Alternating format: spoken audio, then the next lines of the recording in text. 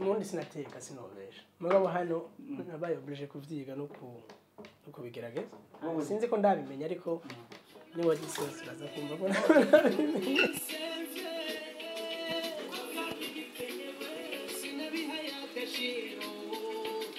Nirayo kwarika tina tina. Tina. Utekenda uno munsi Eh. bakumviriza ko atakunyu kenshi washizemo eh. Jenshi na umunyu muke kugira umunyu aho kurenga wo wobura. Ubura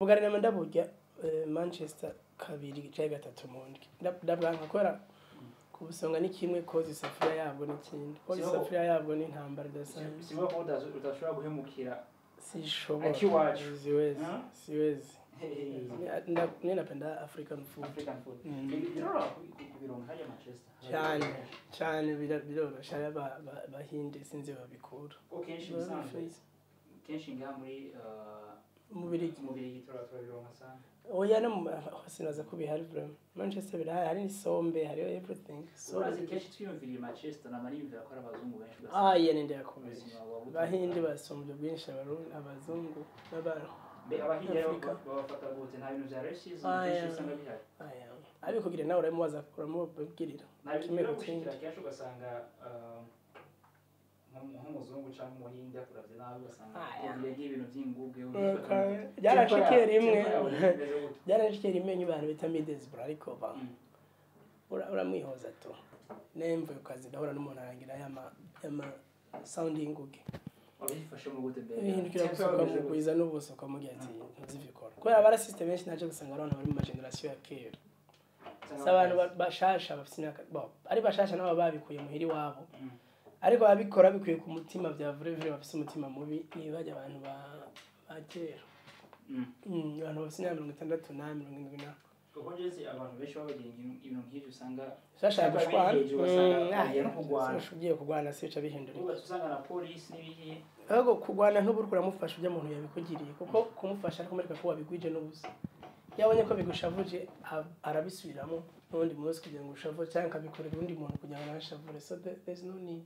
So wowe spirit yawe imeze gute umva umuntu afise akosheje nk'umuntu Akoreye ikibi. nk'ibi akoreye ikibi. Ah, wumva uramwihoza ukamwigisha cyangwa is uramureka ati that? azokwigishwa n'isi. Potizeya ubwa mbere ho simba ndakuzi ngenda ndagutiye ku mwanya. Iyo ndakuzi naho mbo bivana n'agaciro ndaguha. Ndaguha agaciro kadasanzwe ndashobora kuguhanura.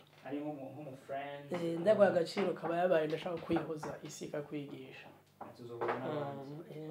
Eh, waislamu wavuga na waislamu waswahili wavuga ngo usichofunzwa na mama utafunzwa na- ulimwengu utakufunza ndugu yangu weka hapo urabigendera ku Ni- kenshi. ndabigenderako cyane kubera ibintu- n'ibintu byinshi we uzi canke nzi canke Mm, na jibril azizi ntu- ntugire ngo ya- ya- yavyigishijwe muhira mm. mahanga ni nabikwigisha None ni- ni cya- ba- ni iki- ni icyahe ikintu cyane cyane nka culture ikintu turetse nk'icyo. Yeah. kigufasha cyane mu buzima bwa minsi yose ino hanze kuko ubuzima bw'ibura burazwa si imigenzo itandukanye no muri afurika ikintu kimfasha ikintu kimfasha mu by'ubuzima bwanjye. Ukintu uvuga ati iyi ni principe y'ubuzima ni umugenzo. Cyane nabonye ko aha uri applicable ati ndashaka kuwukoresha ugasanga ubuzima bu- umva nko gukerebuka indero iki n'iki. ikintu na- nasanze hano buraya kiri indispensable ni- ni ugukora cyane. Gukora cyane kubera kujya ku kazi. Non seulement ko uronka amahera biranagufasha ku- kutajya mu bindi bintu cyane. Ushobora kujya mu nzoga za minsi yose uri umuntu ahora ku kazi. Mm. ushobora kujya mu bintu byo kunywa urumogi everyday uri umuntu ahora ku kazi. Umwanya ntuwugabura mu kabiri kibwa niyo mpamvu rero hano gukora cyane non seulement ko biguha amahera biranagufasha also wowe Kuko kipa. kuko kipa muga ikibazo? Si abantu bose rero bafise uwo mwanya wo gukora cyane. Uravye ngaho urabizi usanga umuntu afise abana usanga umuntu atiwa nabo abana bakeneye umwanya na famiye ikeneye umwanya n'ibiki. Mm. ariko ari nk'umuntu w'umujene ikintu cyiza yakora no gukora cyane bro. Kuko byamufasha cyane byamupuriva kuzaja mu ngorane at the same time Ndafise abagenzi benshi baruzuye. baruzuye ndafise abagenzi benshi benshi benshi benshi. Ndafise abagenzi benshi mugabo nabo Weekend. dusangiye spirit. Nabo nabo barakora cyane so gikuri tuburera kenshi. Mm. ya ariko ndababona ndababona sometime. Mm. na weekend. Ya weekend sur deux abona kubera undi mwanya mba ntafise umwanya mwinshi. Ibintu byo guteka. Muri mu Burundi barateka nazi ko Burundi nahavuye mfise umugenzi wanje w'umukozi yitwa Jedeo jedeo haba n'ubundi amusohoje n'ubu yampamagara Jedeo ni we yari umukozi wanjye hanyuma si sinasuye ubundi sinateka sinobesha mugabo hano nabaye oblige kuvyiga no ku no kubigerageza. Sinzi ko ndabimenya ariko niwagize uraza kumva ko ndabimenye.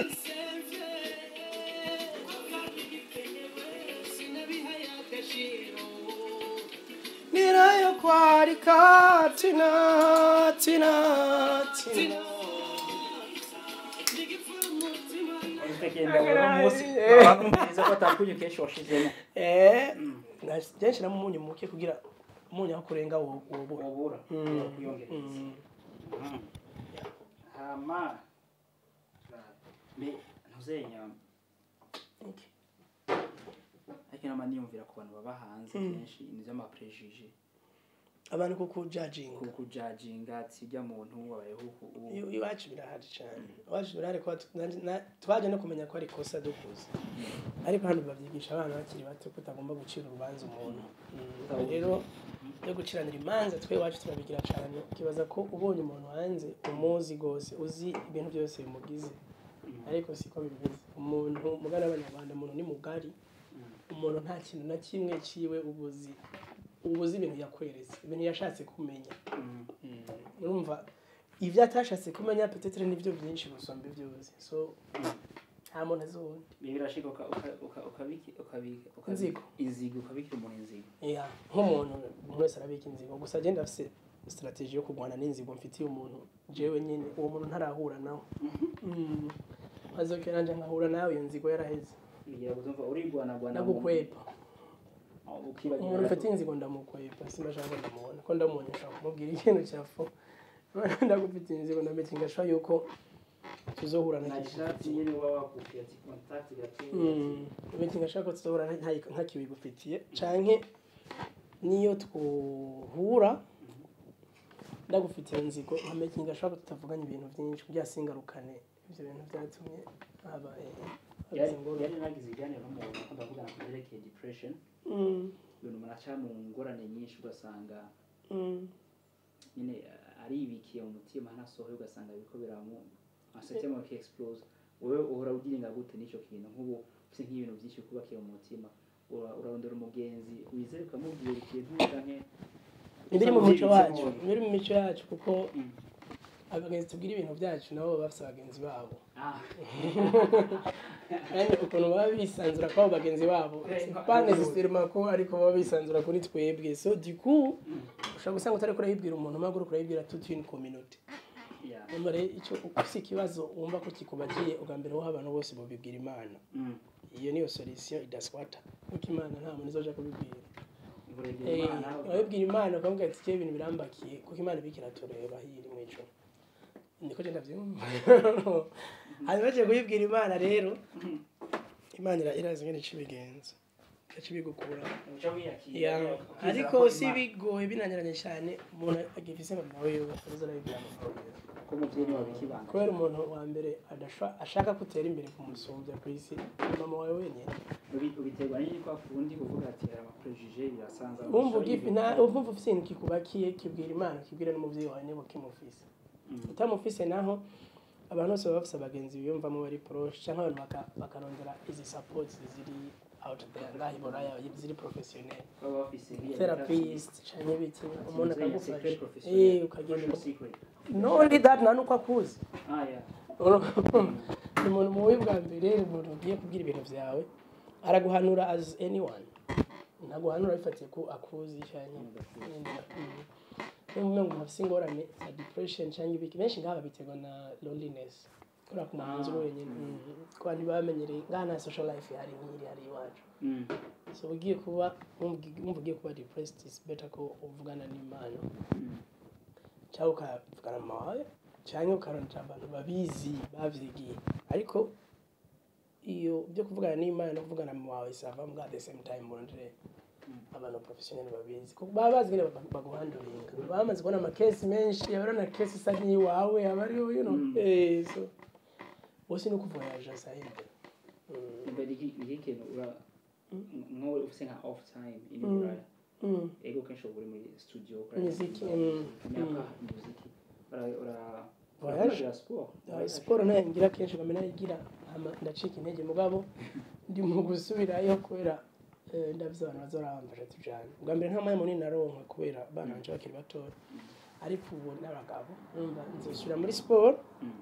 imana ifashije mu kwezi kw'icenda. Mm. mufatiranyije nabo nabo eh, nzobagiye bazi rero nubwira siporo siporo ni nziza. Ah. amaraso gusirikira amaraso mude po ni ibintu byinshi siporo igufasha ata kindi kintu cobikora uretse siporo nyine. Ibintu bya you know zifashe gute? Nawe nta muntu ndetinga hano burayi nta n'uwo ndondera ati nta mwanya nta bifitiye uyu mwanya nawufise bwa rero kudetinga iburayi sa kandi ku myaka yanjye sinaza ko mba ngidetinga ubwo urondera umugore straight away.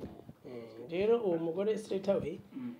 umurondera nibaza ko umuntu abanza kuba ready kumva ko ashaka uwo mugore. Urondera umugore ko ufise imyaka myinshi urondera umugore kubera ukeneye umuntu agufasha urondera umugore kubera wowe nyene wumva ushaka kumubona n'uwo muntu mu nzu yawe. Niyo mpamvu